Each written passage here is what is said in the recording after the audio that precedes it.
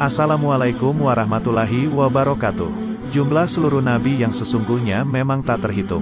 Namun dalam Islam, kita wajib mengimani 25 nabi dan rasul. Ada banyak pelajaran yang bisa dipetik dari keteladanan para nabi. Dengan mempelajarinya dan meniru kebaikannya tentu akan membuat seseorang jadi manusia yang lebih baik.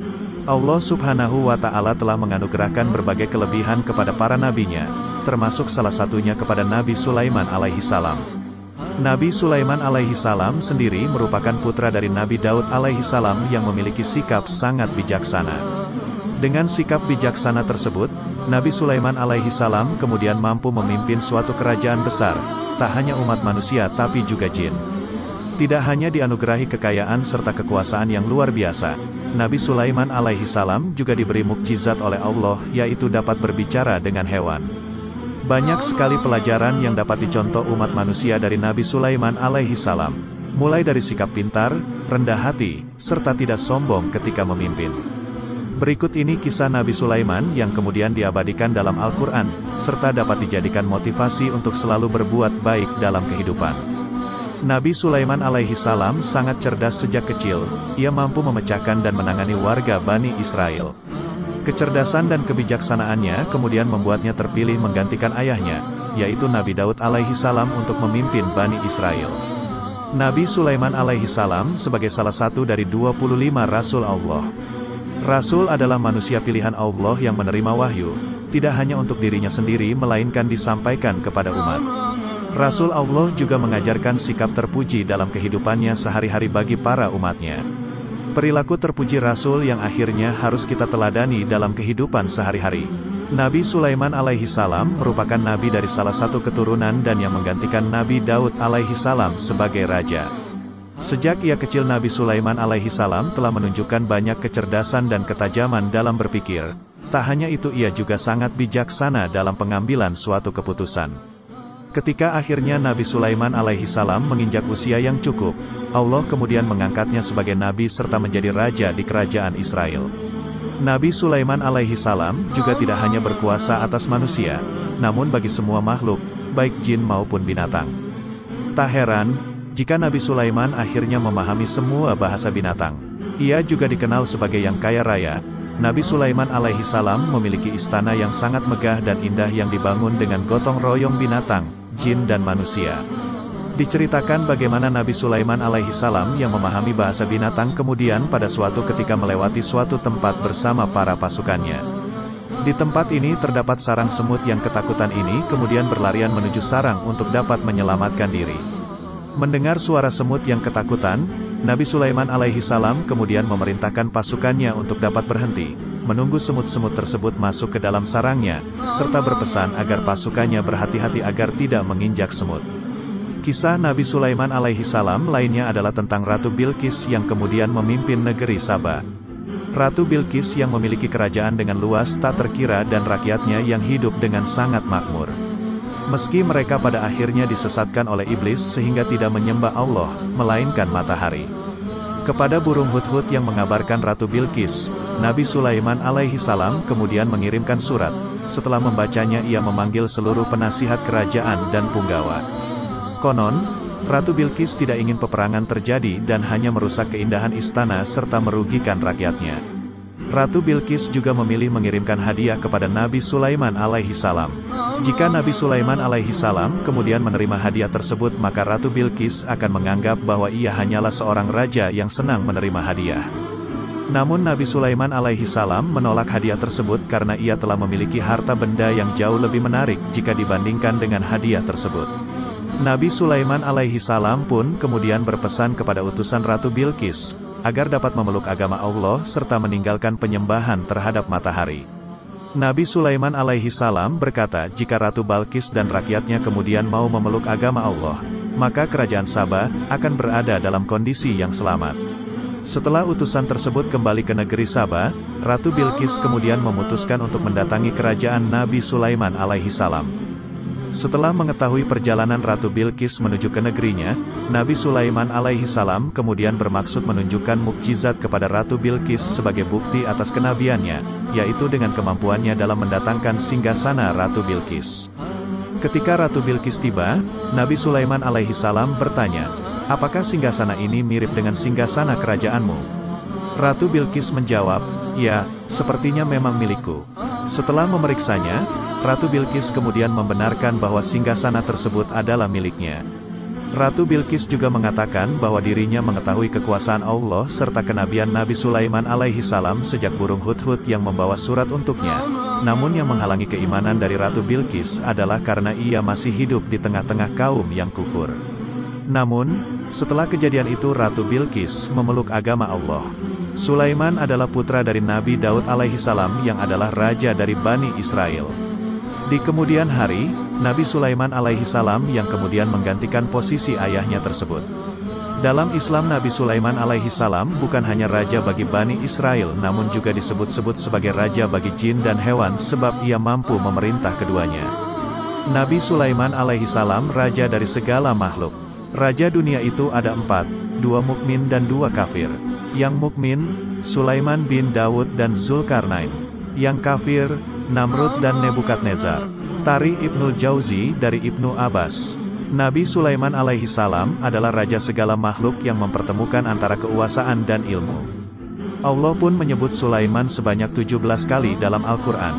Nabi Sulaiman alaihi salam berdasarkan sudut pandang Al-Quran, hadith dan literatur sejarah klasik. Mulai dari biografi beliau, warisan Nabi Daud alaihi salam kepadanya, kecerdasan memutuskan perkara, mukjizat dan kerajaannya, kebersamaannya bersama makhluk lain selain manusia, kemampuan menundukkan angin, kisah semut dan pasukannya. Mukjizat yang diberikan Allah subhanahu wa ta'ala kepada Nabi Sulaiman alaihi salam. Nabi Sulaiman alaihi salam mendengar perkataan semut dan bisa bahasa burung. Dalam Al-Quran Surah An-Naml ayat 18 diceritakan bahwa ia sedang melintas bersama bala tentara yang terdiri dari manusia, jin dan burung-burung saat hendak melewati sebuah lembah. Ternyata di lembah tersebut adalah rumah bagi banyak semut. Hingga saat mereka sampai di lembah semut, berkatalah seekor semut, Wahai semut-semut, masuklah ke dalam sarang-sarangmu, agar kamu tidak diinjak oleh Sulaiman dan bala tentaranya, sedangkan mereka tidak menyadari. Quran Surah An-Naml ayat 18 Nabi Sulaiman alaihi salam yang kemudian mendengar hal tersebut tertawa dan tersenyum. Ia juga memerintahkan bala tentaranya agar berhati-hati saat melangkah karena di tempat tersebut adalah rumah bagi para semut. Seperti dijelaskan dalam Al-Quran Surah An-Naml ayat 19. Maka dia, Sulaiman, tersenyum dan tertawa saat mendengar perkataan semut itu.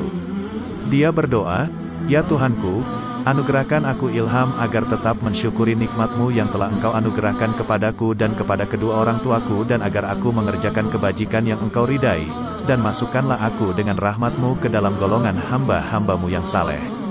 Quran Surah An-Naml ayat 19 Kisah Nabi Sulaiman alaihi salam yang dapat berbicara dengan hewan juga terabadikan dalam Surah An-Naml ayat 16, yaitu Nabi Sulaiman alaihi salam yang dapat berbahasa burung. Dan Sulaiman telah mewarisi Daud, dan dia, Sulaiman, berkata, Wahai manusia, kami telah diajari bahasa burung dan kami diberi segala sesuatu. Sungguh, semua ini benar-benar karunia yang nyata. Quran Surah An-Naml ayat 16. Memindahkan singgasana Ratu Balkis dalam waktu sekejap. Kisah Nabi Sulaiman alaihi salam dengan Ratu Balkis juga turut terabadikan jelas dalam Al-Quran, di mana Nabi Sulaiman alaihi salam pada saat itu memerintahkan burung hut-hut agar dapat mengantarkan surat berisi. Dengan nama Allah yang maha pengasih lagi penyayang, surat ini ada daripadaku, Sulaiman. Jangan kamu sombong terhadapku kemudian menganggap dirimu lebih tinggi dibanding aku. Datanglah kepadaku kemudian berserah diri. Surat ini juga merupakan seruan Nabi Sulaiman alaihi salam kepada Ratu Balkis serta kepada para pembesarnya agar tidak bersikap angkuh dan sombong. Pada saat tersebut juga Ratu Balkis yang menerima pesan tersebut kemudian memberitahukan isi pesan tersebut kepada para pembesarnya. Hal ini juga tertuang dalam Al-Quran Surah An-Naml ayat 29. Dia, Ratu Balkis, berkata, Wahai para pembesar, sesungguhnya telah disampaikan kepadaku sebuah surat yang mulia. Setelahnya, Ratu Balkis juga mengirimkan pasukannya agar menemui Nabi Sulaiman alaihi salam. Beberapa penafsiran tersebut menyebutkan, pasukan yang dikirimkan ini sangat banyak yakni berjumlah 12.000, seperti tertuang dalam surah An-Naml ayat 37. Kembalilah saja kepada mereka, maka kami pasti akan mendatanginya dengan bala tentara hingga akhirnya mereka tidak mampu lagi melawannya, kemudian akan kami usir mereka dari negeri itu, Sabah, dengan cara-cara terhina hingga akhirnya mereka menjadi tawanan yang hina. Pada saat itu kemudian Nabi Sulaiman alaihi salam memerintahkan pasukannya untuk menunjukkan kepada Ratu Balkis dan para pembesarnya, mukjizat yang telah diberikan oleh Allah subhanahu wa ta'ala kepadanya, dengan memindahkan singgasana Ratu Balkis ke istananya. Dalam surah An-Naml ayat 39 sendiri disebutkan, seorang jin yang bernama Ifrit bersedia memindahkan singgasana Ratu Balkis sebelum akhirnya Nabi Sulaiman alaihi salam bangkit dari duduknya. Namun pada surah An-Naml ayat 40 yang disebutkan, seorang yang mempunyai ilmu dari kitab ini bahkan sanggup memindahkan singgasana Ratu Balkis dalam sekejap mata. Ifrit dari golongan jin kemudian berkata, Aku nanti akan membawanya kepadamu sebelum akhirnya engkau berdiri dari tempat dudukmu, dan sungguh, aku dapat dipercaya dan akan kuat melakukannya. Quran Surah, An-Naml 39 Ratu Balkis dan bala tentaranya bertobat. Kisah Ratu Balkis dan Nabi Sulaiman alaihi salam diceritakan secara lengkap di dalam Al-Quran. Diceritakan bagaimana ia mengirim surat kepada Ratu Balkis untuk datang menemui beliau. Nabi Sulaiman alaihi salam juga mengirimkan burung hudhud untuk kemudian menyampaikan suratnya kepada Ratu Balkis. Surat ini juga tertuang dalam Al-Quran, Surat An-Naml ayat 28, berisi. Dengan nama Allah yang maha pengasih lagi penyayang, surat ini adalah daripadaku, Sulaiman. Dan janganlah kamu bersikap sombong serta menganggap dirimu lebih tinggi daripada aku. Datanglah saja kepadaku dan berserah diri, Selanjutnya Ratu Balkis menerima surat dari Nabi Sulaiman. Penerimaan ini juga diceritakan dalam Al-Quran Surat An-Naml ayat 29 berikut ini. Berkata ia, Balkis, hai para pembesar-pembesar, sesungguhnya telah dijatuhkan kepadaku sebuah surat yang mulia. Quran Surah, An-Naml 29 Sesungguhnya surat dari Nabi Sulaiman alaihi salam dan isinya. Kandungan isi surah ini menyebut kepada Allah yang maha pemurah lagi maha penyayang.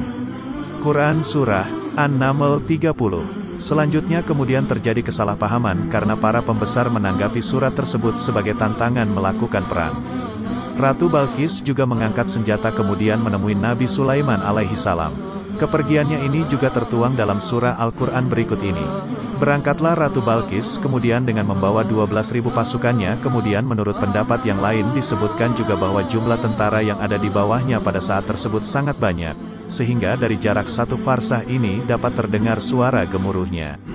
Quran Surah An-Naml 37 Agar mampu menghadapi hal ini, Nabi Sulaiman alaihi salam kemudian mengambil langkah akurat.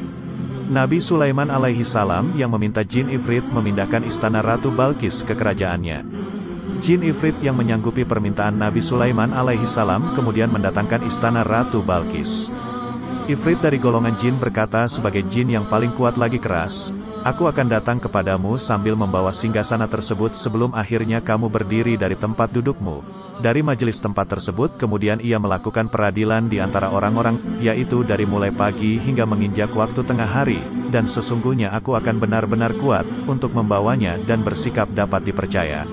Maka Nabi Sulaiman alaihi salam berkata, Aku sesungguhnya menginginkan yang lebih cepat lagi dari itu. Quran Surah An-Naml 39 Ketika Ratu Balkis akhirnya tiba, ia sangat terkejut melihat istana Nabi Sulaiman alaihi salam sangat mirip dengan kepemilikannya di negeri Sabah. Peristiwa ini kemudian membuat Ratu Balkis takjub hingga akhirnya menikah dengan Nabi Sulaiman alaihi salam. Wafatnya Nabi Sulaiman alaihi salam. Waktu Nabi Sulaiman alaihi salam telah meninggal, tak ada jin yang tahu.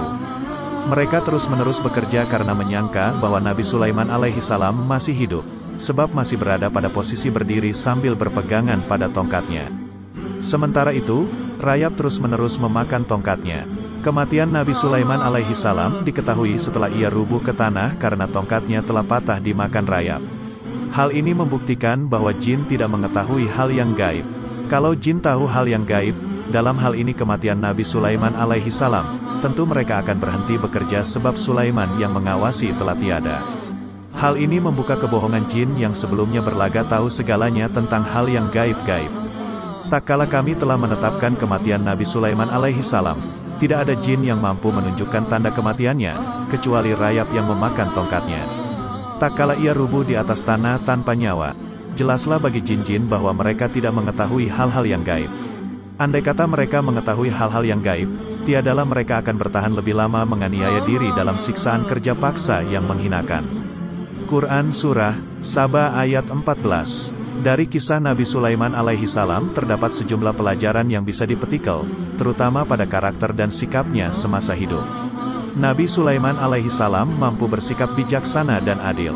Ia cerdas dan tidak pernah menyombongkan diri walaupun memiliki banyak keahlian.